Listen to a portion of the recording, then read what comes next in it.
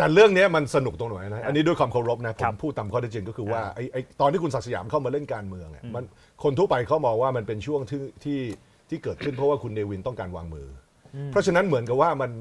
มันเป็นอะไรที่มัน ironic ภาษาอังกฤษเรียกว่า ironic ที่ครับคุณศักดิ์สยามเนี่ยเจอคดีนอมินีอืมคือคืออ่าคือเพราะว่า คือยิ่งคุณศักดิ์สยามก็เพราะว่าเป็นโนมินีทุกคนอยากให้คุณเนวินกลับมาเล่นการเมืองไม่ไม่ทุกคนอยากให้คุณเนวินเนี่ยอ่าซึ่งเป็นเหมือนกับ behind the scene เนี่ยอ่ากลับมาเล่นการเมือง เพราะว่าบุคลากรที่เป็นคนดิเดตนายกประเทศนี้เนี่ยครับมีกี่คนล่ะ ถ้าคุณคุณคิดดูนะ ถ้าพ้นจากยุคคุณเศรษฐานะมีมีแล้วแล้วคุณพิธาโดนแขวนนะข้ามเลยจะเหลือใครอีกอะเหลือเหลือเหลือ คุณแพทองทานอ่าไอติมอ่าและอนุทิน จบจบ ผมไม่เอา เอาเนวินกับคือผมไม่ไม่เอา มันน้อยไป ไม่ไหวโว้ย